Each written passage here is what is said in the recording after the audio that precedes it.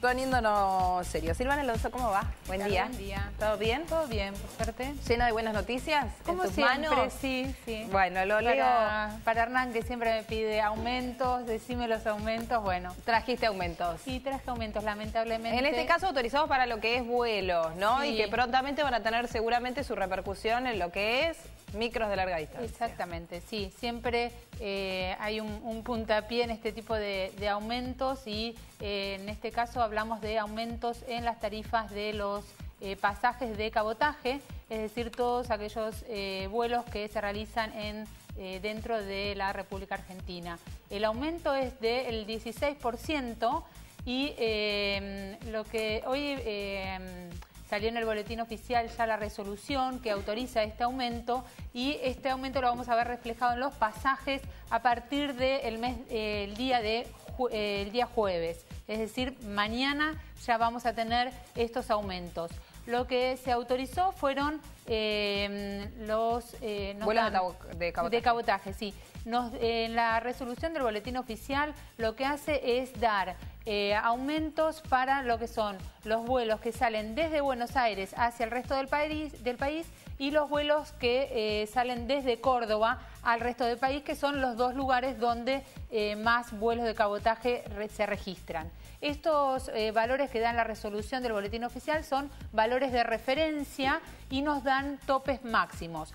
A modo de ejemplo, desde cuando sale un vuelo desde Buenos Aires hacia Bahía Blanca, por ejemplo, la Sí. tarifa máxima que se puede cobrar es de 1.184 pesos. Sí. Si el vuelo desde Buenos Aires sale hacia Neuquén, estamos hablando de 1.668 pesos y a Córdoba de 1.293 pesos.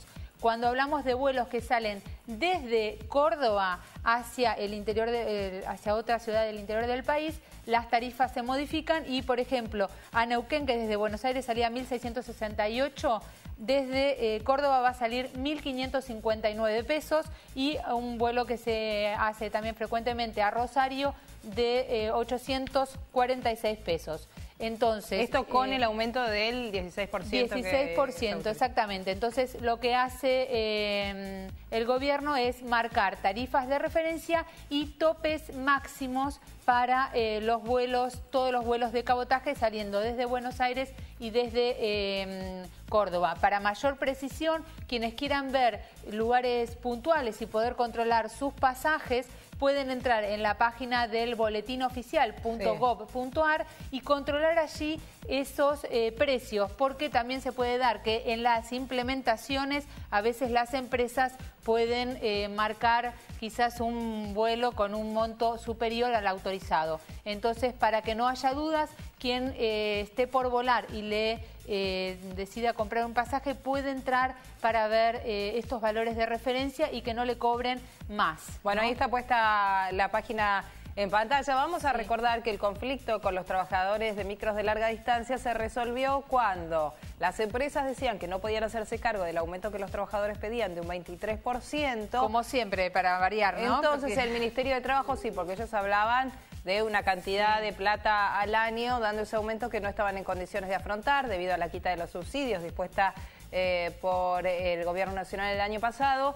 Entonces el Ministerio de Trabajo interviene diciéndole a los trabajadores que ellos de algún modo eh, se ponían como, como garantes de que se iba a cumplir ese aumento del 23% que estaban pidiendo. ¿Cómo no se sabía? Ahora esto del 16% de aumento en los pasajes aéreos nos puede llegar a hacer adivinar cómo se va a hacer, probablemente con el traslado de una parte de ese 23% a los boletos de los pasajeros. En general, eh, bueno, la razón que tienen para aumentar el 16% de los pasajes aéreos también es que no llegan con los costos para prestar un buen servicio. Sí, tiene subsidio ellos, ¿no? A diferencia Además, de los micros. además, y Las lo de buen argentinas tiene subsidio a diferencia de Y micros. lo de buen servicio tendría que, podemos Está hablar largo. sí. ¿no? Con respecto al aumento de eh, los colectivos también, lo que se habla es que quizás se traslade ese 23% a eh, los pasajes. Esto es algo que sucede en todos los servicios y en todos los aumentos. Cuando hablamos, eh, muchas veces hablábamos de los aumentos en la medicina prepaga. Siempre cuando se pide un aumento, se traslada al bolsillo del consumidor. Sí, lo que pasa es que si vos trasladas el 23, pero si vos trasladas el 23% al, al tipo que viaja en micro, y el que viaja en avión con una tarifa subsidiada tiene un aumento del 16, obviamente cada vez haces menos competente el, sector de micro de larga distancia. El tipo que tiene que sacar un pasaje a Jujuy lo va a pensar dos veces porque eh, yendo en micro tarda un día y yendo en avión tarda tres horas, cuatro Exactamente. Sí, el que tiene eh, un, resto eh, en, su de dinero va a preferir obviamente viajar en avión. Aunque no lo tenga, la diferencia hoy, no sé con el aumento del 16, pero la diferencia hoy en algunos lugares del interior del país es nada. Sí, es depende de la frecuencia también de, los, vuelos. y demás, que cuanta más frecuencia tenés, también vas a tener más tarifas promocionales, ¿no? Bien, Pero hay que, tener cuidado ahora con esto que decía de, eh, de los aumentos y que se verifique ese tope. de aumento, porque siempre está... El vivo. El vivo que aumenta... Ay, no me bueno, si viene un aumento y como la persona, el consumidor no, lo, no está bien informado porque ellos se ocupan de que uno no se informe bien, pasan estas cosas de cobrar más de lo que En el boletín oficial te puedes fijar eh, eh, exactamente cuál es ese tope. Exactamente, sí. En el boletín Por ahora autorizado solo para aviones. Todo, sí, todo. Vuelos de cabotaje. Exactamente. Bueno, em, eh, una de, las preguntas Dale. tiene que ver con el tema de los cero kilómetros. ¿Qué pasa si un cero kilómetros tiene desperfectos técnicos? Vos compraste, la realidad es que el parque automotor crece cada vez más, no así los caminos, pero el parque automotor sí, porque la gente tiene pesos, dice, ¿qué hago con pesos? No lo puedo poner en, eh, no sé, en ladrillo, porque aparte no me alcanza, no puedo comprar dólares. ¿eh? Junto a algo y me compro un autito, el que tiene, el que le va sobrando de apuchos. Sí, el que, bueno. el que no tiene que traer desde el exterior sus dólares, ¿no? Estamos hablando de la gente común. Sí. Que, bueno, el que eh, no tiene que traer del exterior igual ahora tiene otros caminos mucho más fáciles. Por eso. Eh, el que eh, compra, ¿qué pasa? ¿Tiene desperfectos? sí, es mucha la gente que se está volcando ahora a la compra de cero kilómetros debido a que muchos no saben dónde invertir su dinero y lo ven, la única manera de materializarlo ahora es a través de un cero kilómetro. Las eh, ventas de cero kilómetros van aumentando y por eso hay alrededor de 2.700, 2.800 patentamientos por día.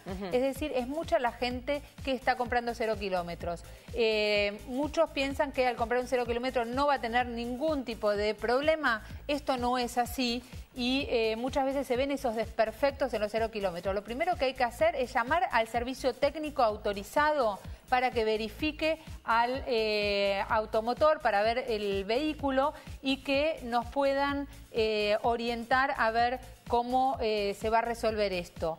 ¿Por qué digo orientar? Porque muchas veces dicen, no, esto se va, se va a resolver o cambian una pieza. Esa pieza que cambian no da un resultado favorable y el vehículo sigue haciendo o el ruido o el viento o algún pedir cambio de la unidad directamente?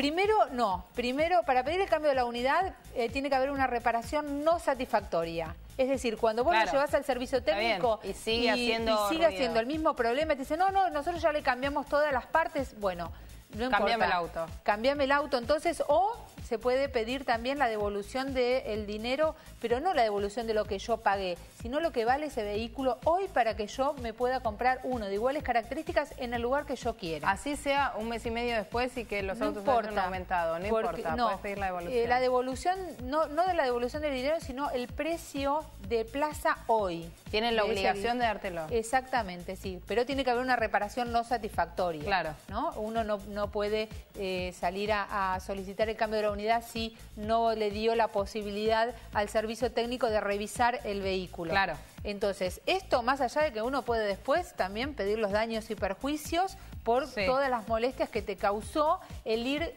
50 veces y a veces más al servicio técnico a llevar, a discutir. Hay que hacerlo. ¿El hecho de que el parque automotor crezca más hace que haya más autos con fallas? Y es muy que probable. se entregan más rápido, Y- la y- demanda es mayor. Y es, eh, sí, la demanda es mayor y eh, también al haber más vehículos en la calle hay más posibilidades que se puedan ver los desperfectos. Y también creo que otro motivo es que la gente cada día se informa más. Claro. Entonces, muchas veces antes uno no llevaba el vehículo o si el servicio técnico decía, ah, bueno, ya te lo cambié, funciona así, uno se quedaba con eso. Creo que los, los consumidores cada día están más informados y saben que les tienen que dar un eh, vehículo que eh, sea óptimo Bien. y seguro, además, porque muchas veces hay un tema de inseguridad y he visto muchos casos que el vehículo no era seguro para trasladar. Bueno, hay que educarse como consumidor y por eso. Silvana Alonso, ¿dónde te ubicamos? Estudio silvanalonso.gmail.com